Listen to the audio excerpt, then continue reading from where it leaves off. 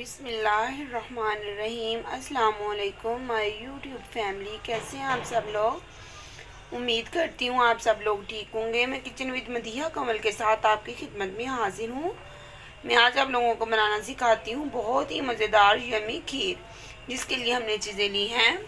हमने चावल लिए हैं, एक कप, जिसको मैंने साफ़ करके एक पूरा घंटा पहले भुगो दिया था। और हमने लिया है दो लीटर दूध, जो मैंने फुल क्रीमी दूध लिया है। एक कप हमने चीनी का लिया है। सबसे पहले हम दूध को चूल्हे पे रखते हैं। दूध को हमने चूल्हे पे रख लिया है, फ्लेम ऑन कर लिया अब हम दूध को बॉयल आने तक काटते हैं। जब तक हमारे दूध को बॉयल आता है, तब तक हम ये जो चावल हैं, इनको यूँ करके पकड़ेंगे और हाथ की मदद से यूँ करके मस लेंगे थोड़े थोड़े से। यूँ करके हमने सारे चावलों को मसल लेना है। चावलों को आपने साफ़ करके पूरा घंटा पहले भगोना है। चावल आपने सुपर बासमती के लेने हैं। इससे खीर का जायका बहुत ही अच्छा और बहुत ही मज़ेदार बनता है। ठीक है? यूँ करके अच्छे से हम इनको मिक्स कर लेते हैं ऐसे करके। ये देखें जी, हमारे दूध में बॉईल आ गया अब हम इसमें चावल ऐड करते हैं। ये देखें, चावलों से हमने पानी स्ट्रेन कर लिया अब हम इसमें दूध में ऐड कर दिए हमने चावलों को। अब हम इसको पकाते हैं। साथ साथ चम्मच को चलाते जाएँगे। और इसको गाढ़ा होने तक पकाते हैं।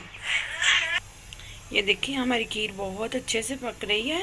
ये देखें, हम इसको चम्मच चला चला के पकाएँगे ताकि ये हमारी खीर साथ ना लग जाए। ठीक है? इस बात का बहुत ख्याल रखना है कि खीर हमारी साथ ना लगे। पैन के पैंदे में, वरना इससे बहुत अजीब सी स्मेल आती है और खीर का मज़ा बिल्कुल ख़राब हो जाता है।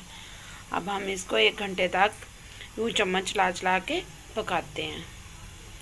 अपनी आँच जो है वो बिल्कुल मीडियम रखनी है, मीडियम टू स्लो रखनी है। ऐसे हम इसको चम्मच चलाते जाएँगे और पकाते जाएँगे। ये देखिए जी, हमने एक घंटा तक खीर को पकाया ये गाढ़ी हो गई है तकरीबन, लेकिन अभी डन नहीं हुई, ठीक है? एक घंटे के दौरान हम सात सात चम्मच चलाते रहे हैं और मैंने इसके दौरान इसमें दो छोटी इलायची खोल के डाल दी थी। अब हम इसमें चीनी ऐड करते हैं। मैं इसमें एक कप डालूँगी। आप लोग अपने टेस्ट के अकॉर्डिंग अगर आप लोग ज़्यादा मीठा खाते हैं तो ज़्यादा डाल सकते हैं, अगर कम खाते हैं तो कम डाल लें। अभी हम इसको मज़ीद पकाएँगे